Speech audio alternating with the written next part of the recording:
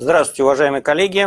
Мы снова с вами начинаем очередной цикл подготовки к основному государственному экзамену на базе портала просвещения. Вот. И сегодняшняя наша встреча будет посвящена изменениям, которые случились у нас с основным государственным экзаменом в 2020 и планируются, соответственно, в 2021 году. Как мы все знаем, у нас э, в этом году не проводился экзамен. Вот, подготовка к нему прошла, а сам экзамен не проводился. Вот, и поэтому те изменения, которые были в 2020 году, они в неапробированном виде сейчас перекочевали в 2021 год. То есть в этом году у нас как бы немножко более сложная ситуация будет, чем в предыдущем году. У нас э, количество изменений увеличилось, причем за счет э, не только изменений, которые в 2021 году случились, но и за счет изменений, которые в 2020 году были, но оказались неопробированными. Вот. И э, в связи с этим мы и взяли вот такую вот тему, самую первую для предварительного нашего разговора. Это вот анализ изменений в ОГЭ 2021 э, на основании э, документов, которые э, выложены Федеральным институтом педагогических измерений в качестве проекта. Ну и, соответственно, материалы, с которыми мы сегодня с вами поработаем, и, в принципе, вы, как учитель, должны обязательно ознакомиться. Это кодификатор, это спецификация и это демонстрационный вариант. То есть помимо демонстрационного варианта, помимо демонстрационного варианта, необходимо еще ознакомиться с двумя другими документами, а именно с кодификатором и спецификацией. При этом напомню, что в кодификаторе у нас содержится минимум обязательный, который будет спрошен на экзамене.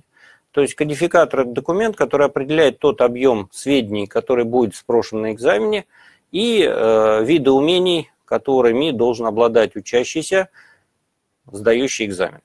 Это вот задача кодификатора. Поэтому а, если у вас есть вопросы, будет ли эта тема в экзамене или не будет этой темы в экзамене, прошу обратиться вот к документу кодификатор называется. Спецификация, она расписывает, как в варианте работы будут размещены вот те самые сведения, которые содержатся в кодификаторе. То есть спецификация – это документ о том, как будет осуществляться экзамен и что будет в варианте работы экзаменационной. Вот. Ну, а демонстрационный вариант, вы все его видели. Соответственно, первым делом вы ознакомились с демонстрационным вариантом. А, предполагаю, предполагаю, там много набрали воздуха в легкие для того, чтобы высказать все. Вот. Но вот сейчас будем тихо-мирно разбираться, может быть, тихо-мирно и выдохнем. Кто его знает. Давайте посмотрим. Итак, какие изменения случились у нас по сравнению с 2020 годом, в котором не проводился экзамен, ну и, разумеется, еще плюс с 2019, поэтому как бы с двумя годами. Вот. Вот вопрос уже поступил, посмотрите, пожалуйста, коллеги в чате, по поводу кодификатора размножения, а генетика проверяться будет? А что там у нас про генетики в кодификатор 9 класса введено? Там термин генетика существует вообще как таковой? Посмотрите, пожалуйста. Вот. Поэтому здесь сразу многие вопросы отпадут. Нужно ли заниматься в девятом классе генетическими задачами? Но мы продолжим. Итак, смотрим. Задание сократилось с 30 до 29 за счет того, что убрали два задания с выбором одного правильного ответа из четырех, но вместо этого ввели новое задание, 24 вот, 26 извините, новое задание 26 которое требует развернутого ответа. Ну и э, здесь самый важный момент – это, соответственно, а время. А время оставили прежнее, 180 минут. Хотя очевидно, что если мы допускаем новую задачу, которая требует развернутого ответа, количество времени должно быть увеличено.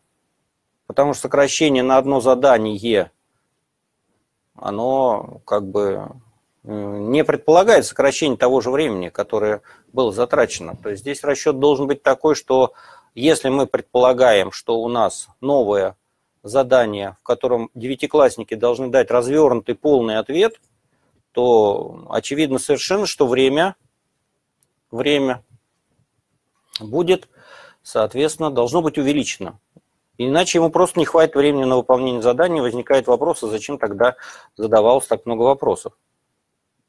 У нас же смысл экзамена, государственной итоговой аттестации, в отличие от ВПР, заключается в том, чтобы предоставить максимальное количество времени на выполнение работы, максимально достаточное. Вот. И очевидно совершенно, что здесь, если мы добавляем задание, вот, которое требует развернутого ответа, мы должны добавить время в экзамене. Вот. И поэтому а, первое, не то чтобы претензия, а пожелание разработчикам заключается в том, что если вы добавляете одно задание во вторую часть, требующую развернутого ответа, то времени 180 минут хватать детям уже не будет. Значит, количество времени, отводимого на экзамене, должно быть увеличено. Хотя бы до 3,5 часов, до 200 минут, до 210 минут. Почему? Ну, вот в конце, прочитав задание, убедимся, что это просто необходимо. Так, что еще у нас случилось? А, помимо появления задания номер 26, у нас в части 1 изменена модель задания номер 24, который был 26-м, а до этого 28-м. То есть это э, уши, лапы, хвост, как я их называю обычно. Вот, это собаки, лошади и листья. Теперь вместо листьев, так понятно, будут кошки. Вот, насколько это рационально, сейчас посмотрим. Итак, значит, что у нас реально произошло?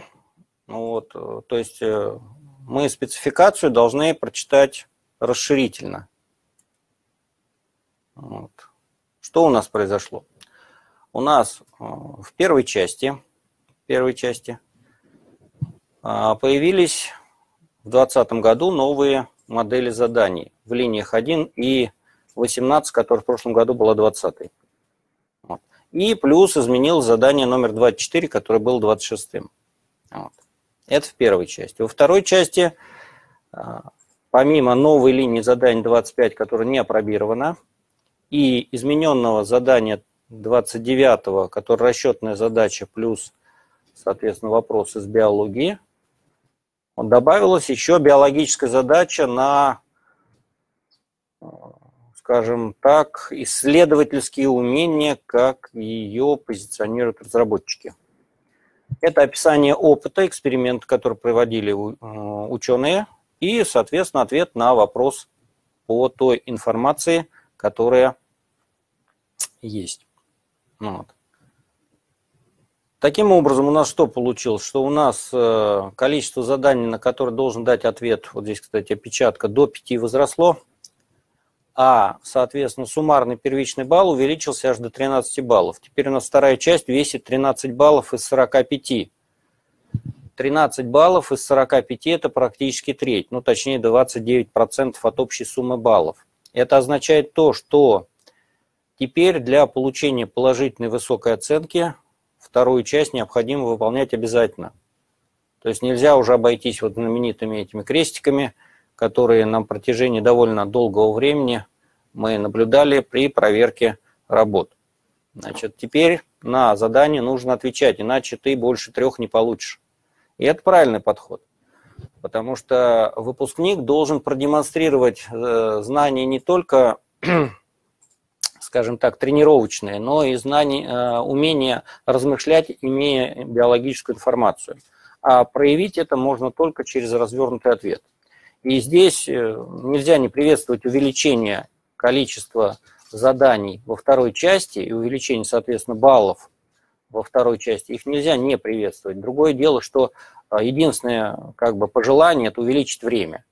Это не так сложно, вот, но времени не должно быть дефицита времени, иначе мы не получим грамотных ответов от учащихся, которые могли бы дать эти ответы. Вот. Это единственное, так сказать, пожелание к тому, что у нас появилось еще одно задание во второй части. Потому что вторая часть должна быть не менее 40%, на мой взгляд, количество баллов давать учащемуся. Вот. Не менее 40%. Пока у нас 29. Но это, так сказать, на наш взгляд, вот такой вот сугубо практический с точки зрения того, а что мы проверяем и что мы получаем на выходе в результате этой самой проверки. Ну и давайте посмотрим, пройдемся по а, изменениям, которые есть в КИМах в части первой. Значит, задание 1. Вот, оно новое, оно не было опробировано в 2020 году. В условиях реального экзамена требует записи слова или словосочетания. Как это будет выглядеть, можно увидеть только в режиме реального экзамена. Задания а, с, первого, со 2 по 17 не изменились и по-прежнему требуют выбора одного верного ответа из четырех предложенных, при этом, а, соответственно, фактологический, биологический материал проверяют. То есть фактологию чистой воды знаешь, не знаешь. Вот, э, то есть материал рассматривается именно на этом вот на этом этапе рассматривается именно с точки зрения того, что либо знаешь, либо не знаешь. То есть вот, здесь нет вот таких вот размышлизмов и раздумен, которые необходимы, чтобы проявлял выпускник при выполнении э, заданий. Вот. Дальше задание 18 это преобразованное задание 20 с графиком, которое в прошлом году было не опробировано, вот, оно двубальным стало, там добавили еще один правильный ответ. Но этот второй правильный ответ э, не напрямую вытекает из графика. И на самом деле вот такое изменение 18 задания может только приветствовать, потому что вот по статистике задания, когда надо было выбрать один ответ из четырех с графиком, выполняли даже те учащиеся, которые итогово получили два. То есть оно было супер простым. Сейчас оно стало сложным. То есть одно, один балл могут взять практически все, а вот второй, то есть полностью правильно его выполнить, могут только те, кто знает предмет. И это очень важно и ценно. И задание номер 18 поэтому изменилось вот в лучшую сторону, что называется. Что касается заданий с 19 по 24, это все они бывшие задания, соответственно, а, предыдущих лет предыдущих, э, соответственно, стадий развития нашего экзамена. Вот.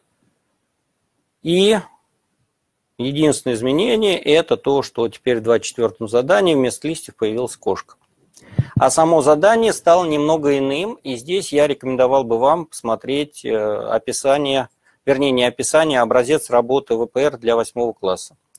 Вот. Там есть похожие задания, и самое главное, там есть вот тот самый последний вопрос, который, честно говоря, вызывает некоторые споры, о которых сейчас мы с вами и поговорим. Так, следующий момент.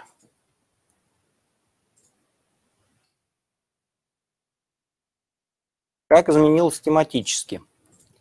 Значит, ну, изменения коснулись только человека. Теперь заданий по человеку в первой части, в заданиях с выбором одного правильного ответа из четырех предложенных, 8, а не 10, как было раньше. То есть теперь э, объем заданий по э, знаниям фактологическим по человеку сократился на 2. Вот. Все остальные остались на своих местах и просто передвинулись. Вот. Соответственно, с первого по пятое, а, вернее, со второго по пятое, как и было, клетка, бактерии, грибы, растения, животные тематически. Дальше 8 заданий по человеку, 14 15 экология и экология или эволюция. Причем э, экология и эволюция – это та, что изучается в разделах растения, биологии растений, биологии животных.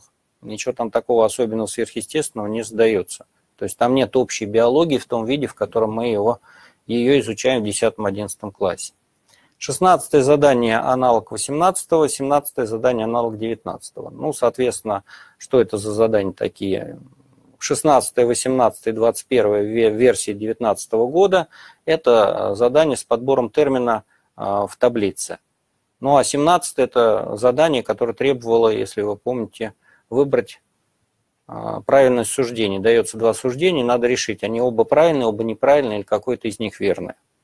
Вот. Очень хорошее задание, на самом деле по выполнению его выполняют только те учащиеся, которые имеют э, итоговую оценку 5. То есть вот задание 17, которое было в 19 и 22 в 2019 году, они, соответственно, показали, вот это вот задание показало, что его выполняют успешно только отличники. Вот. И оно вот здесь тут является как бы таким заданием отсеивающим хорошистов и прочих, которые притворялись знающими биологии от истинных отличников. Очень ценное задание, и в этом, кстати, его, собственно говоря, ценность. Она статистически показывается, ценность этого задания, она показана именно статистически. То есть э, вот только те, кто имеет итоговую 5, выполнили ее правильно. Это задание 17. Так, что касается заданий с кратким ответом, те, которые измеряются двубальным и даже трехбальным, вот, и общее число первичных баллов здесь уже 15. Вот, у нас 17 за задание с 1 по 17, потом, соответственно, 18, 24 дает еще 15 баллов, итого мы выходим на а, число, соответственно, 32. То есть никак до пятерки мы дойти не можем. То есть для того, чтобы получить 5, необходимо безошибочно, мало того, что безошибочно выполнить первую часть, еще надо набрать до 36 баллов, еще 4 балла дополнительно во второй части. То есть вторая часть становится обязательной к выполнению, вне зависимости от того, а, то есть для того, чтобы получить отлично, вторую часть нужно выполнять. Это правильно. Ну, ну здесь мы видим, что а, задание 18, о котором мы говорили, и задание 24, о котором тоже еще скажем. Вот. Ну и, соответственно, 19 и 23 – это задания, которые у нас были, что называется, спокон веков. То есть им уже где-то в районе 8, а некоторым даже и 10 лет. То есть это проверенные задания, которые уверенно показывают свою эффективность из года в год. Опять же, каким образом они показывают? Они двубальные, и поэтому два балла, то есть полностью правильный ответ, выполняют не все учащиеся, а те, которые действительно знают биологию. То есть те, которые получают итоговые 4 и 5. А вот, например, троечники, они задания не выполняют эти правильно. Они набирают максимум 1 балл. А вот если мы возьмем задание 23 на восстановление текста из избыточного перечня терминов, то тут в 23 задании 2 балла набирают даже не все отличники. То есть где-то там 15% отличников у нас берут всего 1 балл в этом задании. Понимаете? Вот. Это говорит о том, что вот задания выполняют свою функцию. Они показывают, насколько учащийся реально знает предмет. Потому что такое восстановление текста из избыточного перечня терминов. Это умение работать с литературой. Умение работать с литературой. Вот и все. То есть мы здесь проверяем, собственно говоря, а читал ли учебник учащийся, который претендует на 5 по итогам экзамена, или вообще не видел в глаза учебник. Вот. То же самое можно сказать и про задание 20. Там требуются знания, которые из избыточного, умения выбрать из избыточного то, что есть на самом деле, то, что спрашивается в задаче. Вот. Но особенно, еще раз подчеркну, это, конечно, текст. Текст просто уникальное оказалось задание. Задание, вот оно по статистике показывает, что выполняют его только знающие учащиеся те, которые итогово получают 5. Даже те, которые итогово получают 4, 23 задания берут только 1 балл, как правило. И совсем немного берут 2 балла. Вот. Ну и 24 о нем мы говорили, тут уже в чате я просто читаю, краем глаза вижу, что тут уже начали прозрачки. Давайте сначала посмотрим по, а, соответственно, заданиям, которые задание номер один. Вот оно у нас было. Посмотрите, пожалуйста. Вот взято задание из открытого банка заданий ФИПИ. Ссылочка здесь приведена на наш родной банк. Вот, есть там вот такое задание. На рисунке схематично изображен один из процессов жизнедеятельности самца и самки тритона. какое общее свойство живых систем иллюстрирует данный процесс. Ну и вот э, предлагаемые ответы, из которых выбрали правильные или неправильные. Неправильные отмечены красным, правильные отмечены, соответственно, черным. Вот. Смотрите, пожалуйста. Ну, очевидно, что общее свойство живых систем – это размножение или репродукция. репродукция – это размножение или воспроизведение. Вот это вот репродукция – это воспроизведение и размножение. Одним словом латинским обозначается репродукция. Это и размножение, и воспроизведение. Ну, поэтому воспроизводство и самовоспроизведение являются правильными ответами. Хотя есть в русском языке нюанс конечно. Размножение – это увеличение численности. Воспроизводство – это восстановление численности. То есть поддержание на каком-то определенном уровне. Это. Но этот нюанс для данного общего свойства живых систем не имеет особого значения, поэтому должен быть принят в качестве верного. Что касается движения наследственности и оплодотворения, то они в данном случае не отвечают тому, что изображено на рисунке. На всякий случай второй пример, тоже из того же банка заданий, открытого банка заданий. Соответственно, на рисунке изображена схема механизма поддержания нормальной концентрации глюкозы в организме человека. Какое общее свойство живых систем иллюстрирует эта схема? Значит, в качестве ответа дается гомеостаз, саморегуляция. А, дополнительными, на наш взгляд, дополнительными верными ответами является обмен веществ и метаболизм, поскольку они прямо следуют из схемы происходит именно обмен веществ. Вот. И поэтому обмен веществ, метаболизм – такие же верные ответы, как гомеостаз и саморегуляция, которые предлагаются в качестве а, критериальных ответов, в качестве верных ответов. Вот. Ну и здесь э, остальные, остальные – это частности, посмотрите, пожалуйста. Ну, раздражимость к этому изображению не имеет отношения. Вот. Относительно верная, можно так сказать, регуляция, но здесь тоже момент регуляция. Вот. Здесь вот как раз вопрос. Ну, мы его отнесли как неверный ответ, потому что саморегуляция. Вот. Не просто регуляция извне, а именно саморегуляция подразумевается, что она автоматическая, внутри э, заложенная с самой природой в организме. Вот, саморегуляция. Регуляция – это немножко в другую сторону, она может быть внешней регуляция. Вот. Ну, углеводные и гуморальная регуляция, углеводный обмен не подходит, потому что это частности, это не общее свойство а, живых систем. Вот. Ну вот с регуляцией здесь вопрос. На самом деле здесь нам надо с вами подумать. Регуляция, на мой взгляд, э, ну вернее, на наш взгляд, потому что мы эти вопросы обсуждали в нашем сообществе – московских учителей. Э, саморегуляция – это как бы внутри, это подразумевает, что общие свойства живых систем, они сами себя регулируют. А регуляция вообще, это регуляция может быть и извне, то есть это более широкое понятие, чем саморегуляция. И относиться может не только к живым системам. Так, теперь пример 18 задания из дем-вариантов и пособий которые можно сейчас встретить на просторах нашей Родины. Значит, обращаю ваше внимание, что здесь совершенно замечательное задание стало. Замечательность этого задания заключается в том, что теперь, теперь его вопросов два. Причем, если первый находится легко и по графику, то второй – это вопрос следствия из графика. То есть мало найти на, э, соответственно, картинке нужную, э, нужное число, вот, нужную цифру, надо еще интерпретировать, а почему она там, где находится. И вот этот вот момент, вот этот вот момент, он, по идее, должен отделить тех, кто знает предмет понаслышке, от тех, кто его знает, что называется, всерьез. Вот.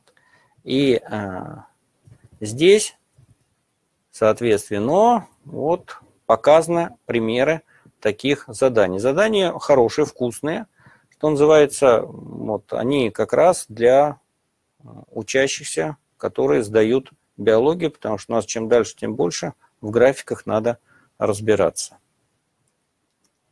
Вот. Ну и многострадальное задание, о котором упоминался. Давайте смотреть. Значит, что у нас дано? У нас, рассмотрите фотографию кошки серо-белого окраса. Выберите характеристики, соответствующие внешнему строению кошки по следующему плану.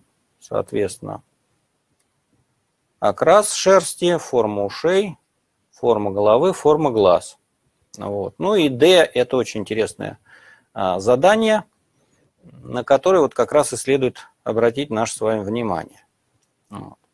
Ну, давайте посмотрим. Значит, окрас шерсти. Мы смотрим на рисунок. Что мы видим на рисунке? Ну, мы на рисунке видим явно не э, второе, что есть в ответе. Явно. Просто вот явным образом видим отнюдь не, э, соответственно, пятна. Хотя в задаче специально написано серо-белого окраса. Но тогда возникает вопрос, а зачем нам тогда рисунок, если у нас все написано в задании? Вот момент.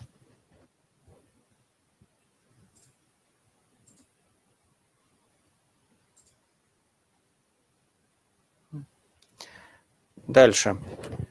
Второе. Форма ушей. Ну вот, форма ушей, соответственно, загнутые назад, это хорошо заметно. Загнуты назад они. Да, действительно, загнуты назад. Вот. Это как бы здесь 4 не обсуждается. Затем форма головы. Форма головы, соответственно, округлая, Дальше треугольные, трапециевидные, клиновидные. Вот здесь, исходя из ответов, получается, что она здесь у нас клиновидная.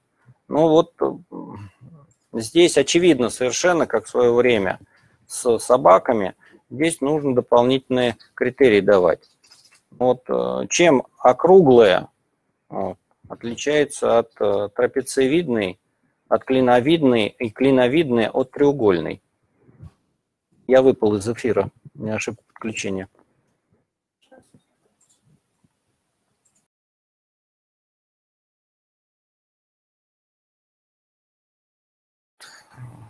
Что называется, есть проблемы со связью. Вот, но ничего страшного. Итак, возвращаемся. То есть понять, э, почему в одном случае мы, соответственно, трапецию создаем. Во втором случае у нас клин. Что есть клин, непонятно. Вот. И что значит треугольный? Потому что трапециевидный, мы видим тоже треугольник. То есть как бы а треугольная, она вот 3-4, она чем отличается? Почему вот 3 э, это клиновидные, а 4 треугольные? А клиновидные у нас не треугольные, у нас получается, там видите, треугольничек, треугольничек, два треугольничка. То есть как бы вот э, здесь э, совершенно непонятно, каким образом можно подходить, с какой линейкой нужно подходить сюда, вот к мордочке изображенной кошки. Вот, она, конечно, приятная на вид, но вот как ее обводить, каким параметром ее обводить вот для того, чтобы правильно выполнить э, В, непонятно, ну, пока сильно непонятно. Вот. Дальше форма глаз еще интересней. Форма глаз еще интереснее. Вот тут вот дается, что, соответственно, форма глаз 4 миндалевидные. Вот. Ну вот миндалевидные, почему они миндалевидные? Вот. У нас зрачок не доходит до конца. Вот. То есть на самом деле, на самом деле не будет никакой потери баллов, читаем D. Вот. Определить, соответствует ли данная особь стандартам породы американский керл. И дальше мы читаем стандарт породы американский керл, фрагмент. Породу отличает многообразие. Мы видим одного представителя. Многообразие окрасов короткошерстных и длинношерстных кошек. Многообразие. Тут у нас однообразие. Дальше. Для породы характерна клиновидная форма головы и большие миндалевидные глаза. Главная особенность породы – широкие основания и плавно закрученные, широкие у основания и плавно закрученные назад уши. Дальше. У каждой особи, а у нас тут одна особь, своя степень закрученности. Ну и вопрос, соответствует ли? Ну, конечно, нормальный ребенок, который знает на 5, он ответит не соответствует. Почему? Потому что он не может сделать вывод по одному представителю, соответствует или не соответствует многообразие и у каждой особи. Он видит только одну. Тот, который не заморачивается, просто возьмет D и перепишет все задания А, Б, В, Г точки зрения того, что написано в D, и получит 3 балла. Вот. То есть здесь задание, которое сейчас предложено в демонстрационной версии, требует глубокой переработки. Глубокой переработки с точки зрения того, а что мы, собственно говоря, делаем. Зачем нам тогда рисунки, если у нас написано серо-белый окрас в названии, то есть мы уже изначально должны А выбрать цифру 2, потому что у нас написано серо-белый окрас. Вот. Дальше, что касается, соответственно, формы ушей, формы головы и формы глаз, мы берем из D и выбираем цифру 1 соответствует. Все. И получаем 3 балла те же дети, которые у нас будут по-серьезному, взяв, э, соответственно, в руки линейку и по-серьезному работав, как положено по, э, соответственно, критериям, они рискуют не получить даже одного балла, хотя сделают все правильно и по инструкции. Здесь надо четко, вот, э, соответственно, говорить о том, что задание потеряло свою сущность. То есть, если мы про а, лошадей, собак, там хоть как-то нужно было помнить и вспоминать, собственно говоря, а, какие-то биологические сведения, здесь, увы и ах. Здесь, к сожалению, мы столкнулись с тем, что у нас произошла подмена задания. У нас теперь рисунок совсем не нужен. Нам нужен только э, начальное описание и пункт D для того, чтобы мы все три задания, все пять позиций поставили верными. Вот очевидно совершенно, что здесь надо перерабатывать это задание. Оно негодное в том виде, в котором предложено вот сейчас. Что касается лошадей и собак, здесь глубоко не соглашусь. Глубоко не соглашусь. Там нужны именно биологические сведения. И э, инструкции последнего э, времени издания, они более точные стали, особенно по собакам. Когда там морды приплюснуты в двух ракурсах, фас и профиль, и становится понятно, какая форма у собак. Вот.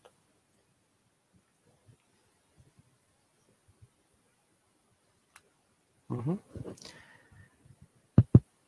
Итак, ну не то чтобы убирать это задание надо, оно хорошее задание, оно должно проверять умение работать по инструкции. Другое дело, что инструкция должна быть написана так, чтобы ее можно было выполнить используя рисунок. То есть, если мы говорим о том, что это рисунок, то, соответственно, рисунок и должен работать, а не за дополнительные объяснения, которые даны сверху снизу, с тем, чтобы вывести ребенка на правильный ответ. То есть, что он должен на самом деле увидеть в этой картинке. Ну, то есть, очевидно. Получается ровно та же самая ситуация, какая была у нас с лошадьми, пока не додумались взять этот самый э, скелет и не воспроизвести скелет и не понять, а что у нас, собственно говоря, происходит. И где там что заканчивается, где что начинается, где у нас пятка, и где у нас на самом деле э, голень с плечом у лошади. Вот. Это 24 задание. Теперь вторая часть. Вторая часть у нас тоже весьма-весьма интересная. Вот, у нас, еще раз подчеркну, количество баллов возросло до 13. И у нас появилось два задания теперь новых. У нас, вернее, как, у нас к 2020 году готовилось одно задание новое, к 2021 второе, и того их сразу два будет в 2021 году опробировано из-за того, что не было, соответственно, а, а, экзамена как такового. У нас реально опробированные из этой части являются только 27 и 28. Хорошо нам знакомая работа с текстом, который выполняет все, оно повышенного, а не высокого уровня сложности. Задание с текстом. Вот, его выполняет э, по результатам выполнения, очевидно, что его выполняют практически все успешно получившие больше 13 баллов на экзамене, соответственно, успешно выполнившие экзамен, выполняют это задание все. Ну, с разной степенью успешности. Кто-то балл берет, кто-то два, кто-то три. Но вот э, четкой градации по работе с текстом, что вот отличники, только отличники берут три балла, этого нет. Вот задание 28, там это есть. То есть там берут отличники э, 3 балла и отдельные э, хорошисты. То есть те, кто итоговый получил 4, это отдельные уникумы, получают 3 балла за таблицу. Вот. А если мы говорим про а, отличников, то там большинство 3 баллов берет. То есть все как должно быть. 29-я наша многострадальная задача, которая теперь стала иной. Вот, и слава богу, вот, она теперь преобразовалась, она перестала быть арифметической биологией, вернее, биологической арифметикой, вот, а стала биологической задачей. Вот, и это не может не радовать. Ну и давайте с вами посмотрим, какие примеры 25-го задания. Вот из демоверсии пособий. Вот посмотрим по демоверсии, вот посмотрим по пособию. Здесь четко надо работать по рисунку. И здесь есть некий парафраз, э, то есть перенос на будущее ЕГЭ. Потому что у нас 23 задание в ЕГЭ, оно сходно. Там тоже надо с рисунком работать и его описывать, только уже более сложно. Здесь как бы вот девятиклассники привыкают к тому, что через два года у них будет похожее задание – и его надо будет тоже выполнять, опираясь на рисунок. Вот. Рисунки могут быть из любой темы, из э, любого раздела биологии, поэтому я и взял насекомых.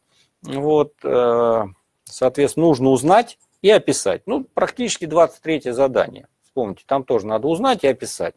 Только там количество пунктов больше в ЕГЭ, чем вот э, здесь, в 25-м. Поэтому очевидно совершенно, что задание нужное, важное, с точки зрения того, что мы наконец-то в девятом классе даем как бы подготовку к единому государственному экзамену, а не идем своим путем. Вот. При этом рисунки могут быть откуда угодно взятые, перерисованные. Почему? Потому что э, не обязательно, совершенно не нужна привязка к рисункам учебника. Вот сейчас поступающая информация иллюстративная, она отовсюду к ребенку поступает. Он а, работает со множеством источников визуальной информации. Вот. Поэтому вот рисунки. Тем более, что рисунки биологических объектов при всех их э, подходах там художников, я так вижу, они, э, тем не менее, у них всегда есть точки соприкосновения, они всегда э, сходны вот, по определенным частям. Например, вот тот же самый тутовый шелкопряд, вот, если вы наберете тутовый шелкопряд, вам выкинется в интернете даже совка. Вот. И там надо увидеть, где там тутовый шелкопряд на самом деле, а где совка. Бабочка. То же самое по пчеле. Вот. Выкидываете этот рисунок и узнают как муху. Тоже бывают такие моменты. Ну, муха-пчеловидка, имеется в виду, мимикрия. Вот. Что касается нового задания, вот здесь, конечно, задание на э, то, как э, дети будут описывать в девятом классе, описывать результаты опытов. Здесь, конечно, видится, что здесь 2 балла возьмут не все далеко. Но как у нас было, если вы помните, с заданием 32, в предыдущие годы, до революционные годы, скажем так, до того момента, как у нас началась изменяться структура ОГЭ, у нас было задание последнее, 32 -е. Вот, и там чаще всего оно было засадное, двубальное, потому что нужно было ответить глубоко и точно. Вот здесь вот у нас 26-й теперь таким заданием будет, где нужно ответить глубоко и точно. Правда, у него есть очень интересное ответвление на знание биологической терминологии. Вот. И вот эти вот два направления, они весьма-весьма интересны. В одном случае описывается опыт и задается вопрос. А, не всегда, правда, бывает такой вот, вот корректный. Вот, но это, что называется, к шлифовке. Главное, что понятно, что отвечать учащемуся. Вот. Во втором случае дается корни а, терминов и просится назвать те, которые могут быть э, в биологии связаны с этими самыми корнями. Вот. Это на знание терминологии тоже весьма-весьма неплохое направление вот как раз для 26-го задания и для девятиклассников, которые все-таки знают не так, как 11 класс. Это надо, очевидно, понимать для себя. Вот.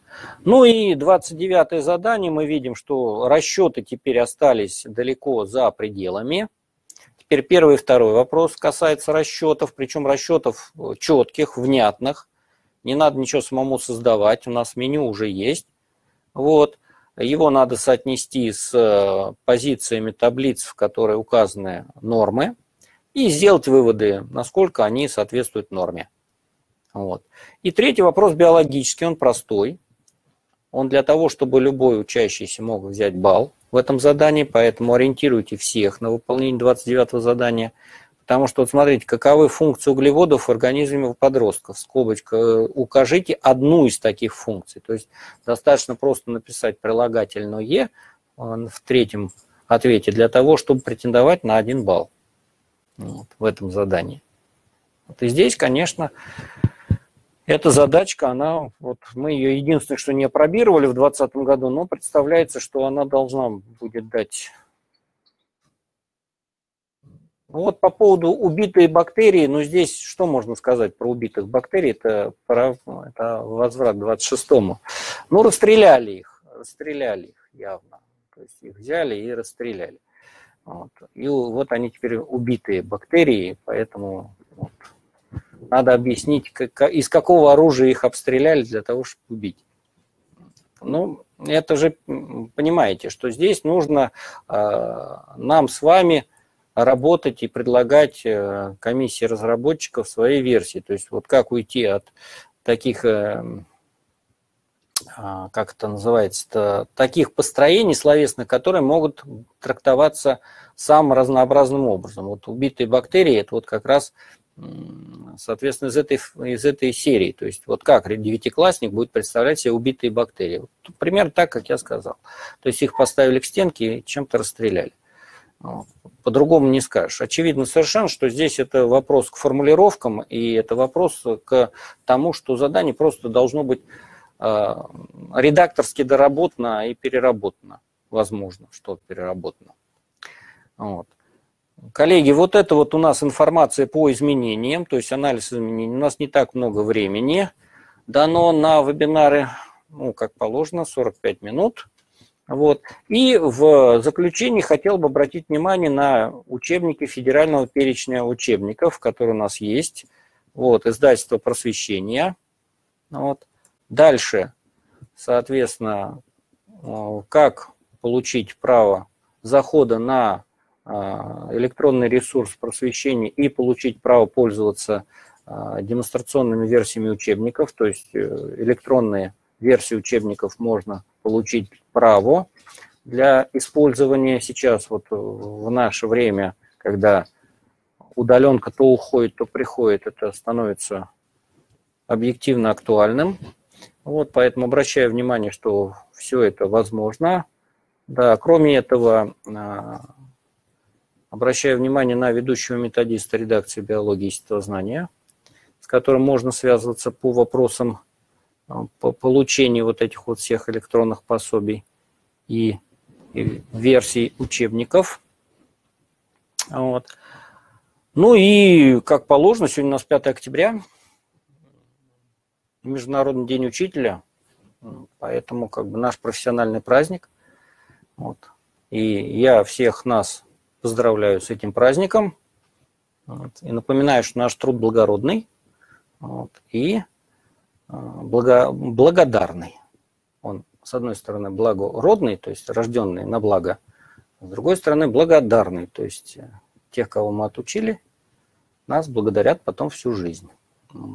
И очень вам, вас поздравляю с этим, соответственно, днем и напоминаю лозунг Симона Львовича Соловейчика «Вы блестящий учитель, у вас прекрасные ученики». С этим лозунгом мы всегда заходим в класс, потому что это действительно так. Ну, затем прощаюсь с вами. На сегодня все. У нас еще будут с вами встречи в ноябре и так далее. Там мы будем уже говорить о конкретных подходах к подготовке. Большое спасибо за то, что выслушали и поучаствовали в вебинаре. Большое спасибо.